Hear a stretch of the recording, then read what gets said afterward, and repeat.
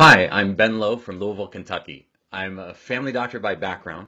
I, my wife and I have seven kids, and I'm about to turn 50. What I love about ageLOC Youth after four months now is that rather than the slowdown I was starting to experience, especially in the mornings, is I'm now awakening more consistently refreshed and energized. And my mood, I'm noticing I'm more have more enthusiasm to embrace each new day. I'm also finding myself more focused and productive despite multiple activities between kids, family, work, new projects, and continually learning and teaching new things.